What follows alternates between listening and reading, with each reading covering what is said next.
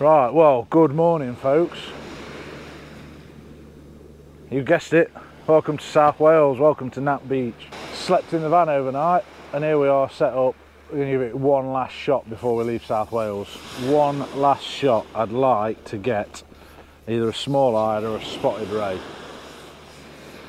this morning. That would make the trip complete.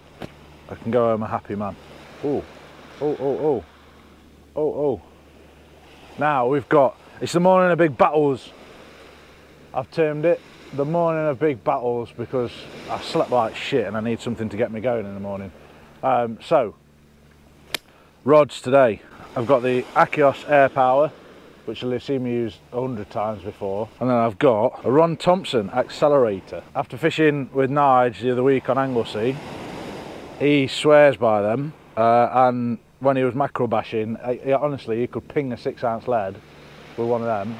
And then Mike of Mike's rigs popped up. He gets tackle all the time to sell on. Uh, popped up with a with an accelerator. I was like, yeah, go on then. I'll have it. So we've got Akios versus accelerator. That's battle number one.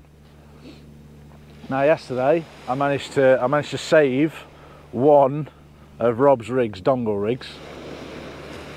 Was the only one I didn't snap off or lose or whatever. Um, and we're still fishing braid by the way today I'm not deviating away from braid for a long time now and I found in my rig box rig wallet this morning a Mike's rigs dongle rig that's battle number two Rob's rigs versus Mike's rigs and then battle number three I got one of the lads that was leaving last night gave me some bait so I've got some riot baits anchovies are they and I've got some wrigglers baits anchovies as well so we've got riots versus wrigglers. So like I say, a morning of big battles, purely made up completely in my own head. Um, I don't want anybody falling out over it. Uh, it's purely just to try and get me enthusiastic this morning. Um, so we've got Akios versus Accelerator, we've got Mike's versus Rob's, and we've got uh, Riots versus Wrigglers. Yeah, that's about it really. Um, cracking sunrise, weather looks spot on. To be honest, I would be tempted to stay and fish all day if this session goes off. So I basically said to Sarah I'll be home tonight at some point. In my mind, I'm going to fish here and then I'm going to go home, so I'll be home for about mid-afternoon. If this goes off and I end up full of beans again, could end up staying again uh, and fishing somewhere over high water in a bit. The weather looks, like I say, looks spot on. Um, there's no rain forecast. Apart from the odd clouds you can see out on the horizon, there are no clouds behind screen at all the wind has dropped right off and it's supposed I think it's about, forecast it's about eight mile an hour now uh, and it's supposed to drop to two or three later on so it could be a blooming good day for it now Knap Beach it's not really one of them marks that takes my fancy to be honest uh, I fished it before I think we had dogs and bits and pieces like that um, but yeah it's just not one that really tickles my pickle. Um, but having said that, so Nige, who I mentioned we were fishing with on Anglesey a couple of weeks ago when Tommy and Daz ditched us and went over on the red hot mark. Um, so Nige has actually come down. Uh, he messaged me saying, you in South Wales? I'm in South Wales. So he's come down in search of a, um, a blonde ray for the species hunt. Uh, he fished here yesterday, last night. So basically, last night while I was fishing Fonty, um, and catching ca catching blondes. I nearly said when I caught my one blonde, um, he was on here catching spotted. So, uh, and I think he had about eight, which means I'm going to blank. But so we are kind of chasing the fish a little bit. It's a little bit of movement on the air power. Spin around just in case, just in case. I shall zoom in, do some wizardry in the editing and zoom in once I get the camera set up. Set you there. That air power just, just seemed to be bobbing about. There's not much swell, as you can see, the sea flat calm. Um, there's no weed, as I can see, floating about. So yeah, so Nige was down here catching catching spotteds last night. Now obviously a daylight tide the fish is completely different to a nighttime tide. So we might be chasing fish that aren't even here anymore. But that's the thing I like about sea fishing. You're not fishing into a bucket with a load of carp in it. You're fishing into, there's a vast expanse. The fish could be, could have left five minutes ago. Probably did leave five minutes ago when they saw me walking down the beach, but there we go.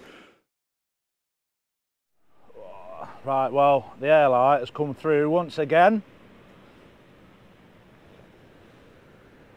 Micro bass.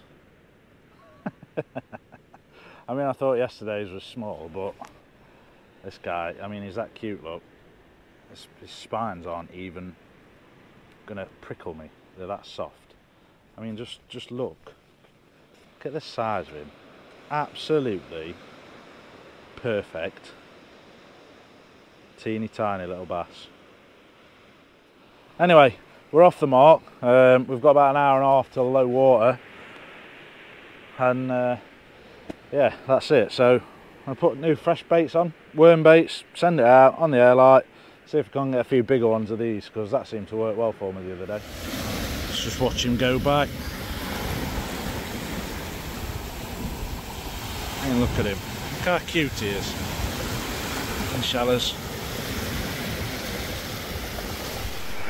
Well, I reckon that could come off now, to be honest. Whoa, it's an absolutely stunning morning. I wish I hadn't got three hoodies on. Um, we made it all the way down onto the beach. I could do with my bloody peak cap instead. Yeah, we made it all the way down onto the beach. Uh, we've got, we've got an hour till low water. Um, I've brought the air light in even closer now because as I was reeling in last time there was a couple of little flashes just in probably 15 feet off the edge of the water, probably no more than a foot of water. Um, so I've cast that out about 30 yards or so. Didn't clip it down or anything, just left it flapping. Um, put fresh ragworm baits on, uh, on the two big rods now, we've got we've got a cap line on one, and then on the other one, I've got a chunk of herring and a load of ragworm. Just because I'm I'm at the point now where I'm just trying to mix things up. So Nigel just messaged me, who I said had had this spotted last night. He's because he was parked up here asleep. Only just got up, the lazy shit um, yeah, he's just messaged me and says, yeah, yeah, um, yesterday through the day I didn't get a single bite. I was like, all right, brilliant. But we are going to persevere. I mean, I've got a box full of bait. Oh, we've got a rogue dog as well. Um, I've got a box full of bait to get through. Got some ragworm to get through. So we may as well give it his best shot, aren't we? Alright, see what these other baits are doing. because These have been out about 15 minutes as well.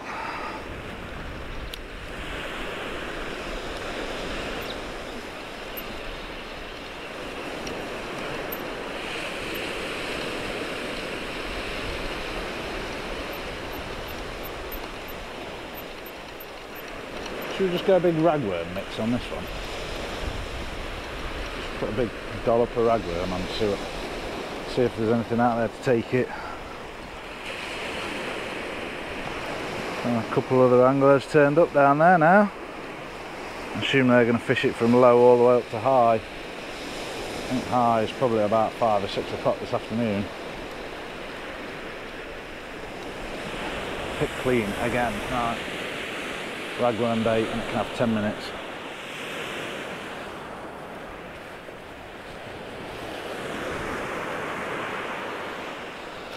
Tell you what, see if we can get some fancy, fancy casting shots, shall we?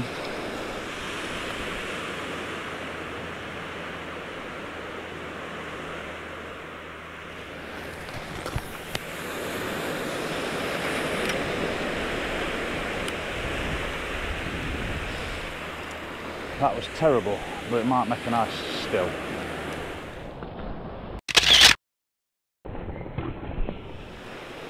Right, let's have a go doing a similar thing with the air power. If I can see when I'm in shot, there I am.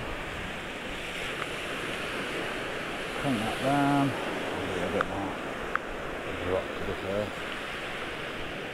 Let's not go for the silly side step. that I've never done before and thought it'd be a good idea to try right there and then. Simple.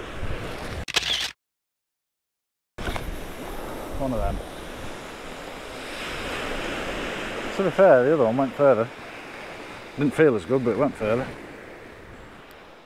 Well folks, the air light is properly saving my skin at the minute. I just wish they were a little bit bigger. Another couple of tiny little schoolie bass. Double shot. Like I say, it's keeping me entertained for a little bit. Absolute pristine condition. i get these put back, send them back on the way. Hopefully they'll get nice and big.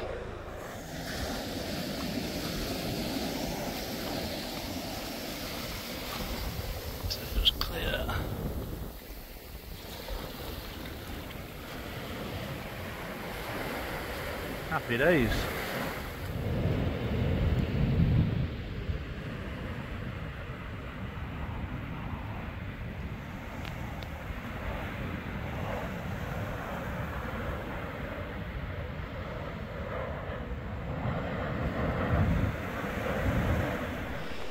Well, these little guys are keeping me entertained. I think that's about me ninth or tenth on the little Airlight. I just wish they'd put up a bit more of a fight or send the mum or dad to tell me off. I've changed the uh, changed the, the air power now. I've just put a squid bait out. I've put that relatively close in just to see if we can't entice a big one. I mean, I'm all for sharing the waters and everything. And like I said earlier, the sea's a pretty big place. And then you've got this. Now, I don't think I could quite hit him with a cast. The guy next to me certainly thinks that he's fishing in his spot. Yeah, interesting choice. Very interesting choice. Right, well, folks, that is a wrap. Um, fished two hours back up tide. We had a few more small bass. Uh, Lado came and parked his boat out front of us. Um, no fish on the big rods, not even a sniff on the big rods. It doesn't matter whether I put out small squid baits, ragworm baits. The only thing that was out there today were those tiny small bass. Um, but that's 36 hours down in South Wales completed and not a blank session to be had. Um, not exactly filled with monster fish that we were hoping for, but that's fishing for you. Uh, it could have been completely opposite, who knows. So, um, while I've been fishing today, I've been deliberating whether to put this out as three individual videos or one longer sort of series documentary, not documentary, but yeah, you know what I mean. I think I'm going to put them out as three shorter videos, but let me know in the comments because I'm keen next year to do a few more trips like this. So let me know in the comments, um, would you rather have shorter videos more often or long videos and less frequent? I have zero plans for where we're going to go next. Um, I really do not know. I think I mentioned in a previous video, I've got loads of ideas but nothing set in stone as yet. So I really haven't got a clue where we're going to end up next. Um, but as always, thanks for watching and until then, take care of yourselves and tight lines.